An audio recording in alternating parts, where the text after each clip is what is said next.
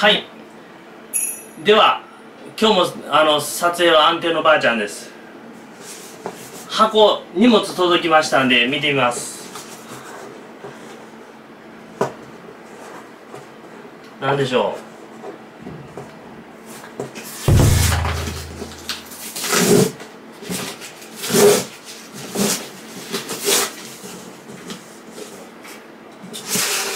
う。お成宮君の商品が届きました。これまたあのメッセージカードを書いてくれてます。あ今日ちゃ今回またちゃんとした紙紙書きですね。この度は僕のプロダクトを手に取っていただきありがとうございます。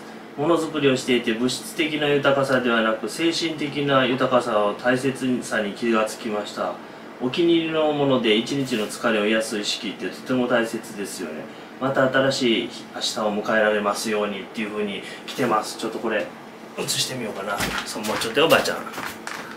はいこんな感じです。で来ました。来ました。タンクトップです。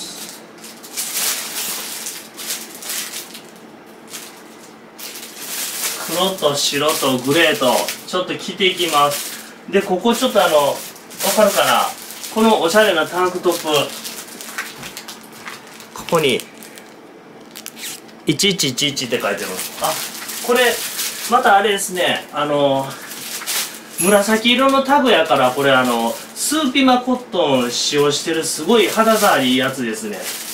でこの1111っていうのはこのワンポイントがすごいあのロゴ的なものでなんか成宮君がこう時計とかで1111ってばあちゃん喋ってもらってもいいんやからね。1111っていうのをよく見るらしくてこういうのはエンジェルナンバーって言ってなんかこう2222とか3333とかゾロ目ってすごいパワーがあるみたいでその中でも1111っていうのは1っていうのは始まりを意味してて恐れを手放し望みを叶えるために集中するって何か叶えたいものを叶えられるようにっていう願いでそれをなんかこうデザインとして落とせたらなっていうので作られたみたいです。ではちょっとあのこれを順番に白とグレーと黒と着ていきます。どうですかまー、ちゃん？うん聞いてごらん。よし。身につけてみんとわからん。そうやねタンクトップ届きました。紫のタグなんでスーピマコットンですね。はいメッセージカード付きです。楽しみです。まず白から着ていきますね。ちょっと待ちよってください。着たら写してくださいね。でばあちゃんがどれがええかということも言っていただけたら。少々待ちを。はい。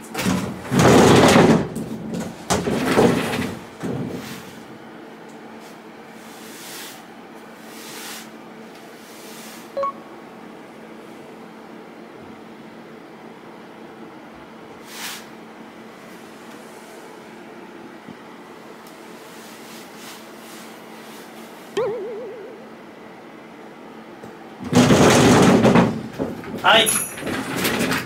どうですかね？いいじゃない。なんとも言わんけどばあちゃん。結構大きめなんやねこれ。ええええちょっと大きめがいい。肩までかく肩僕肩幅広いけど、肩まで隠れるぐらいのいやだから外出もできそうな感じ。これ。うん。いた白こんな感じです。ちょっと待ってよ。立てて回ってみるね。こんな感じですでは、次。グレー着ていきます。ばあちゃん映るよかねそれに。はい、はい、ちゃんと位置合わせて。じゃあちょっと待ってください、はい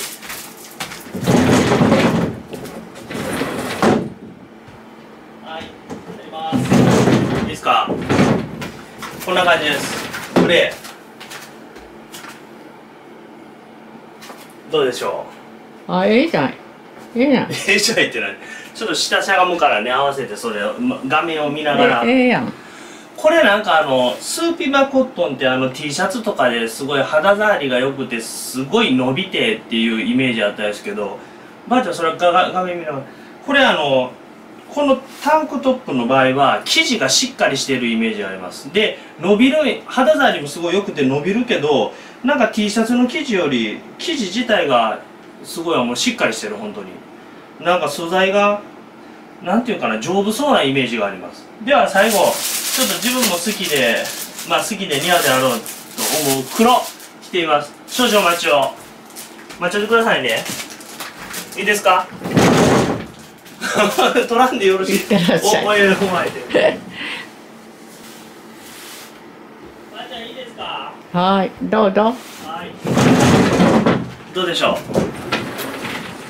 モデルが登場や。大したモデルじゃなくて申し訳ないけど。よう見てくらんよそのこれ。鏡でこうやって肩のところもあそうか。こうやって肩のところもめくれるぐらいになってるのよこうあのちょっと大きめサイズで肩も隠れるぐらいにサイズされてるけど肩もこうやってめくって調節できるぐらいになってるみたい。ちょっと座ります。どうでしょう？どれがいいですか？ともくんにはやっぱり黒やね。黒？うん。ありがとう。ではちょっとこれちょっとライブとかでもこれ着たりとかこれちょっと登場させていこうと思います。いやーすごい。まあ暑がりやからこの時期でもすごいしこうやってあのここの幅どれぐらいで出すかって調整できるのがいいですね。それがあるあの、うん。ここが長いから外へ出ても外出しても構わんみたいなね感じ、良さそううん。ちょっとこれ大切に使わせてもらいます。ちなみにそのエンジェルナンバーの意味をちょっと調べてみたけど天から神聖な愛や知恵を私たちに運んでくれる天使からのメッセージが込められている数字。天使を実際に見ることはありませんので天使がいることはにわかに信じがたいかもしれません。しかしエンジェルナンバーを意識することで天の存在を感じることができるとかなんかあのインドとかのアーユルバーダとかあのオイルプリングとか僕はしたりしてますけどそういうところでも言われてたりとか本当に縁起が良くていい数字です。このワンポイントのロゴがいいですね。よしじゃあ大切にしていきます。またちょっとあの新しい商品等あったら紹介していきます。ではありがとうございました。はい素敵な商品でした。大切にしていきます。